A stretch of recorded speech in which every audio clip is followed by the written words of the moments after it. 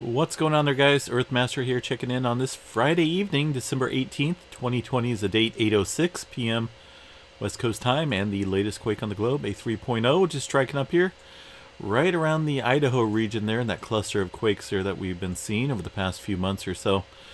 Um, today, no stranger to earthquakes, that's for sure. Definitely uh, a lot of movement going on up there.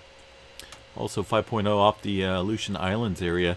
We'll take a look at the uh, USGS map here and uh, kind of look at some of these other quakes that are taking place. A lot to talk about, uh, some volcanic activity, a little article that was put out there from the USGS in regards to the uh, Kilauea volcano there in Hawaii. We'll check that out here in just a minute. But zooming into the earthquake activity here in Idaho, you can see the Sawtooth Fault System right over here. This is the area where we've seen quite a bit of earthquake activity oh, over the last few months or so. Although today and uh, over the last 24 hours, we've seen a migration of quakes up here. Pretty good cluster. Ooh, looking at about 10, 15 miles or so to the northwest of the previous earthquake activity that we've seen. Um, so kind of uh, interesting movement, migration of quakes here. Further away from the Sawtooth Fault System here, but uh, that doesn't necessarily mean that were out of the woods there for any type of potential larger quake up here around the Salmon River Mountains in Idaho. I'm sure it's beautiful country. I, I always wanted to go up around this area here. Uh, some rugged mountains for sure. Beautiful. But uh, a lot of earthquake activity taking place up there right now. Just within this vicinity, about 16 earthquakes. Uh, so we're going to have to watch this little area pretty closely here. I don't see any faults that are listed here from the USGS. Uh, but that doesn't mean there isn't any. But uh, kind of watching that.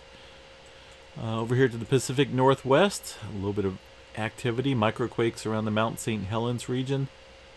Nothing big, just a little 0.4 at about 1.7 kilometers below surface, and some more microquakes taking place there deep on the uh, Seattle fault system right there. That's a bunch of lines right there just uh, kind of runs through Seattle. Very dangerous fault system, but for now, uh, some microquakes taking place there. Um, zooming in into northern Cal, pretty quiet. A little explosion, it looks like, or some type of uh, quarry blast there around Shasta Lake. Not for sure what's going on there. A little earthquake out here south of Eureka. 3.9 on the uh, scale there. Not a big one, but uh, I'm sure uh, folks may have felt it. Of course, the depth on this, about 25 kilometers, kind of deep there, along the uh, close to the Cascadia megathrust area. That's this section right down in here that extends into the uh, North American plate, or I should say underneath it there, uh, where some big earthquakes can no doubt take place. Some movement along the creeping section of the San Andreas Fault as well, a couple twos around the Soledad region there and also some uh, a little bit further down as well along the San Andreas Fault. Seeing a little swarm of activity out here off the main fault systems here. This is the San uh, Jacinto fault system. And of course you got the uh, San Andreas Fault over here, the darker red line. Little uh, cluster of quakes out here in the desert. I guess this is the desert out here around the uh, some Indian reservation, little cluster. You can see that. Pretty uh, notable quake sequence taking place there. Uh, looks like the largest they had was a 2.0. Not for sure what's going on out there in that area of the state. Taking a look at the satellite, I'm not seeing any type of fracking activities. Uh, but who knows what's going on out there along the uh, Indian reservations out there. Like I say, I don't see any. I don't see any uh, fracking at all that I can tell.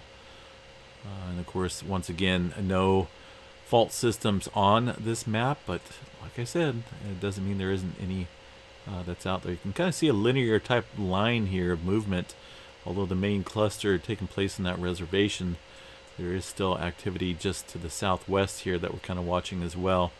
Uh, some, so definitely some notable movement down there taking place. No major movement down here in the um, Brawley seismic zone or the Imperial Fault. A couple small earthquakes there. Let's see that little cluster of quakes there near Imperial. About five quakes under 2.1. Uh, as far as activity up around the Aleutian Islands there, we did have that five-pointer. That's about the only large one, or at least moderate-sized one out there over the last day. And the rest of the Pacific Ring of Fire looks moderately quiet. No major deep movement to report out there. And of course, uh, no major earthquake activity as of yet. Uh, zooming in there to the big island of Hawaii. Let's go ahead and check out uh, the quakes here real quick. As you can see, uh, we'll zoom into the uh, Kilauea Summit area, or the uh, crater area. You can see some microquakes and whatnot taking place there. A couple uh, more sizable quakes, not not anything big, 3.1 there, just outside of the that little crater area. But also you can take a look at this movement down here to the southeast as well, kind of kind of chiming into this region. here's a little one here, a little 2.2 is an article, uh, like I mentioned, put out from the USGS as of yesterday. I did post this up on my Facebook page. Um, was going to make a video last night, but I just got too tired. Decided uh, uh, sleep was pretty important, which it is, right? December 17, 2020 was the date yesterday. Um, they talk about, uh, oh, earthquake activity there around the Kilauea. And uh, small but notable magma intrusion at Kilauea Summit. You can see this little map right here. I'll go ahead and click on this. This is a little bit better detail. These are GPS stations here. These arrows are indicating the GPS movement, the length of movement, and also the direction of the movement.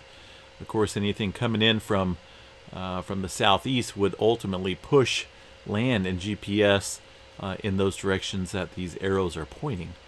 Uh, the intrusion area where these uh, where the magma took place is inside of this green box here. Um, here's a little uh, detailed description here. Map showing locations of earthquakes at Kilauea Summit on December 2nd, 2020. Uh, motion detected by HVO's GPS monitoring network is shown as green arrows. Okay, that's these arrows I was talking about there. Uh, the length of the arrows correspond, corresponds to the amount of motion, and the direction it points shows the direction of motion. Earthquakes are plotted as circles with color corresponding to the time of day they occurred. The size scaled according to earthquake magnitude. The green box shows the minimum size of the magma intrusion as constrained by ground deformation. The intrusion model shows opening of a rectangular surface with its top edge to the south-southeast that trends downward to the north-northeast uh, at an angle of about 40 to 60 degrees. Black lines are local roads. So yeah, a little bit of um, you know interesting movement there, magma intrusion there. This is a very active volcano, and it will be no doubt in the future. As of right now, the Kilauea volcano uh, alert level, I should say, is at green. But of course, this could change, you know, very drastically. All it takes is a, uh, a pretty large earthquake to get stuff moving down there, and, and voila, you got, uh, you know, some major movement in the near future. But right now, it's green. The threat potential, obviously, very high, and uh, that will be a, uh, uh, worry in the future, no doubt. But for now, we're kind of keeping an eye on it. Uh, the earthquake activity is still popping off out there. watching for some deep movement, which also would indicate further um, magma coming up to the surface. But, uh, you know, aside from a few deeper ones way down south here, most of this activity is relatively shallow. But we are still watching that pretty closely. I think uh, a lot of folks are. Uh, Yellowstone National Park, as far as the seismograph stations here going, I'm thankful for the folks getting this site back up and running. The isthisthingon.org website uh, let's see. Wow, it sounds like they're racing outside here. Um, yeah, not a whole lot of movement, folks. A couple small microquakes, it looks like, right there on the, uh, ooh, the Pitchstone Plateau region. Other than that, excuse me, kind of picking up a cough. Other than that, just a few small, small microquakes here, folks. Uh, tremor map uh, let's go ahead and see if these guys are active. It says loading. Kind of taking a long time to load. It shouldn't. Relatively odd right there. Normally this thing pops right up. I don't believe it's my internet. No, because other pages are loading quickly and perfectly. Let's see if we can uh, refresh this. Wow, look at that. Yeah, kind of weird. See that my internet. It's definitely not my internet because when you click on uh, any other sites there, it's just voila. But something going on here with the PNSN. Uh, with the PNSN seismic network there along the Cascadia subduction zone. Not for sure. Let's check yesterday's, see what's going on there. I'm not getting anything. A little odd, that's for sure. Uh, I did want to check Mount St. Helens there, see if that... Uh... Okay, what is going on there? I'm not getting any stations to pop up. No, no live, uh, no live seismograph stations there. You guys see that? Normally, you click on a uh, uh, an area such as Mount Rainier, you'll see black triangles, red triangles indicating the uh, seismograph stations and GPS stations, but nothing. Zip zero. What is going on there? Ah, very odd. All right, well, I guess it's just not meant to uh, not meant to be seen at the moment. All right, well, uh, we'll jump off here, folks. Uh, enjoy your Friday night. I like to stay home on Friday and Saturday nights. In fact, all nights. I just don't, I don't get out as much as I used to, you know.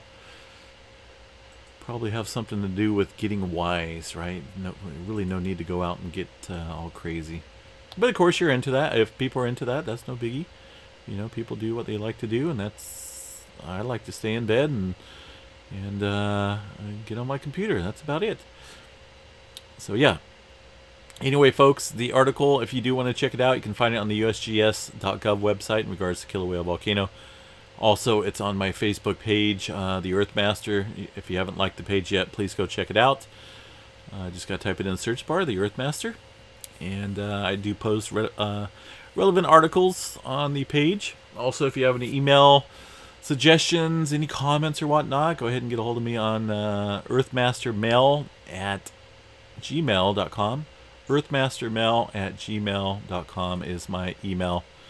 And uh, that's normally the quickest way to get a hold of me. If you have any comments, suggestions, uh, any questions, or anything like that, feel free to send me an email.